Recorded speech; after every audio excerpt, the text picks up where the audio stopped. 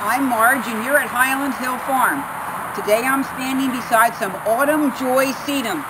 These are plants that will give you a lovely color for fall. Right now they're just a very, very light rosy pink. As it gets into fall, this will eventually become a vivid purple copper color. The leaf will remain green. It will stay on the plant with good fall color well into late fall, October, November in some areas. Very good to attract butterflies. Uh, nice plant for in front of a house because it will stay low. It will never exceed 18 to 24 inches. Will tolerate some dry soils and poor soils.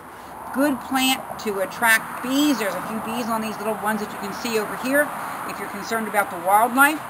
It's also a good plant for pots, for porches, for decks, in front of larger shrubbery to add some fall color, and a reliable perennial that will come back year after year.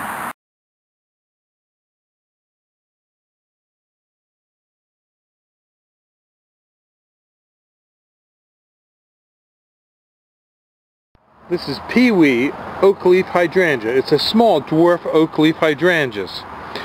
Oak leaf hydrangeas like water, so plant them in a wet area or make sure you give them adequate water to get started. We have them here at our farm on Route 313 in Fountainville, PA.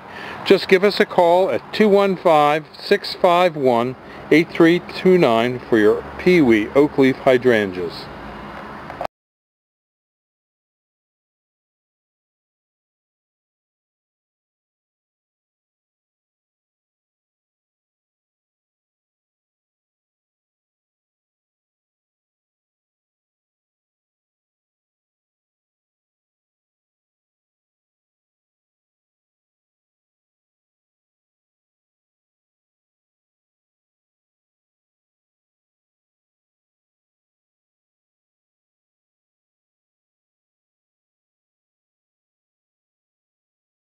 This video is brought to you by Highland Hill Farm.